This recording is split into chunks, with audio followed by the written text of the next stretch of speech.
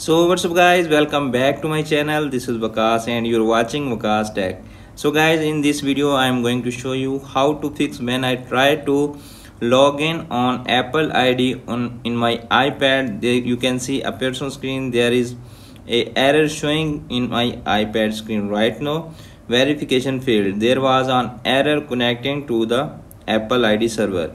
So how to fix that issue? You can see appears on screen tap on ok and tap on next. It's also showing same error after few time when i try to log in my apple id in that ipad. Okay you can see appears on screen. It's taking some time. And after taking some time it's also showing again that error. So how to fix that error? Just close that. You can see appears on screen all tabs and open your iPad setting. Okay you can see appears on screen. In the setting you need to check your Wi-Fi. You can see appears on screen. I am right now connected with the Wi-Fi. Tap on that. Make sure your Wi-Fi working well. Just tap on another Wi-Fi. You can see appears on screen. Okay.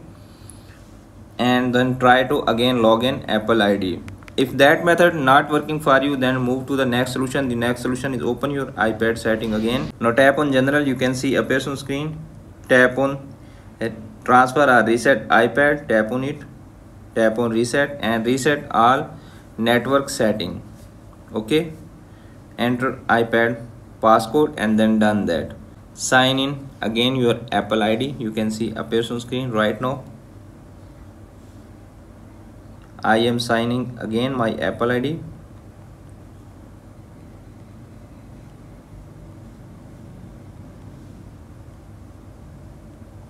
okay tap on next.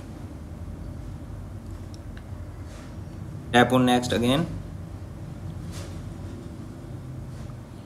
You can see appears on screen it's sending on a verification code on my other device tap on allow and you can see a person screen. It's asking for a passcode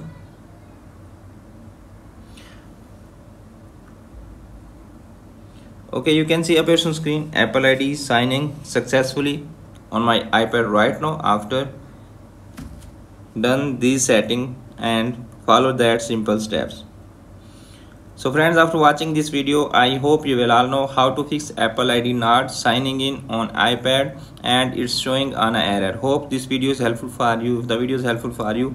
Don't forget to share and subscribe my youtube channel and press the bell icon for upcoming videos notification. Thanks for watching